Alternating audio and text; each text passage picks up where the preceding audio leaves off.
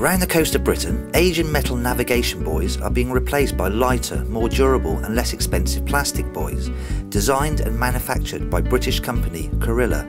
Trinity House, based in Harwich, is the world's most respected lighthouse authority.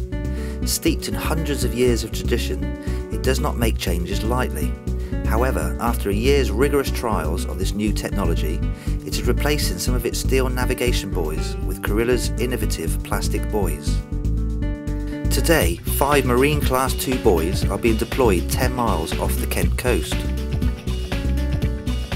Yeah, what we're doing here is we're, we're swapping out our old style steel buoys for the new technology plastic ones. Basically because it's um, less maintenance um, and of course reducing costs.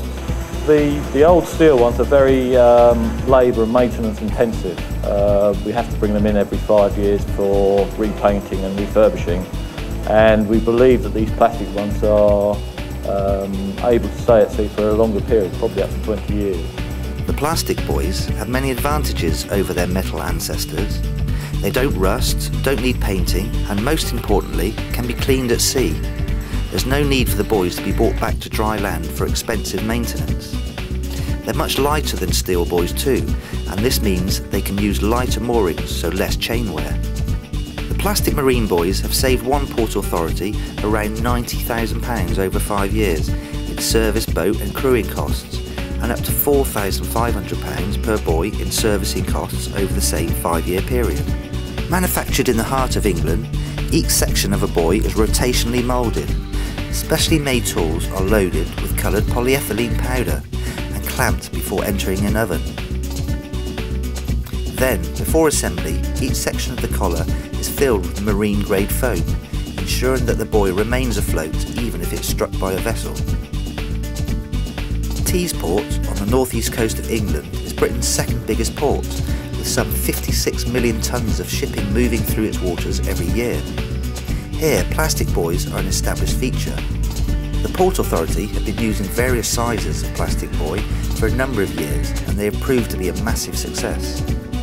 We introduced plastic buoys as a replacement for the steel buoys in the late 90s. We saw them as a way ahead uh, in reducing uh, maintenance costs, uh, manpower and uh, reliability. We found that uh, the steel buoys on average took about two days to clean, repaint. Uh, we would do that one day and, and go back the next day and have to gloss them. where we can clean four plastic buoys a day, steam clean them off, pressure wash them off, check the moorings, check the character on the light, and on average four, four in a 12 hour day. We had a lot of traditionalists within the company who used the river. Uh, we, we found over time that they have warmed to the plastic buoys. There's no turning back now plastic market buoys will serve the sea for generations.